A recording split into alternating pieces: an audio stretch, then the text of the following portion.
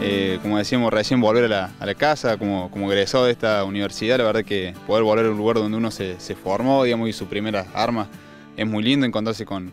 gente conocida, gente amiga.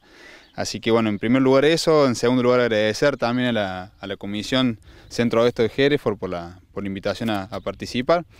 Estamos en un contexto, digamos, medio raro con el tema de la, de la pandemia, pero bueno, sin embargo, es muy buena la, iniciativa de, continuar con esto, con, con las medidas que, que, esto requiere.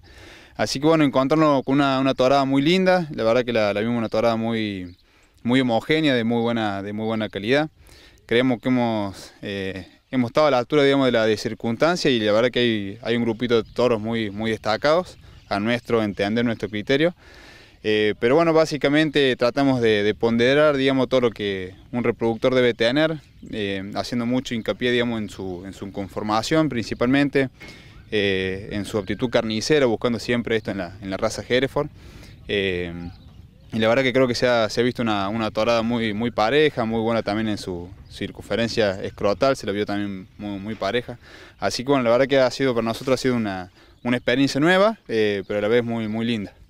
Bien, te veía ahí con tu compañero dialogando y discerniendo sobre esto y quiero hacer énfasis en esto que vos me decís, vos venís de la rama del asesoramiento privado y especialmente en rodeos de carne, así que me imagino que estuvo ahí puesto el punto. Exacto, exacto, eh, asesoramos eh, varios rodeos de carnes, eh, manejando también varias razas, digamos,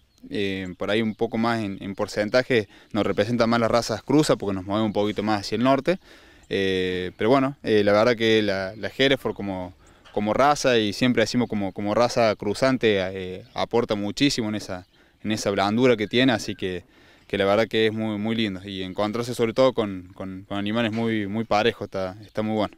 ¿Cuáles fueron los criterios ya un poco más específicos, hablando del punto de vista carnicero, que, que estuvieron eligiendo? Bien, lo que es la parte con carnicero, bueno, tratando de buscar siempre conformación, en lo posible toros que sean toros largos, de, de buen desplazamiento,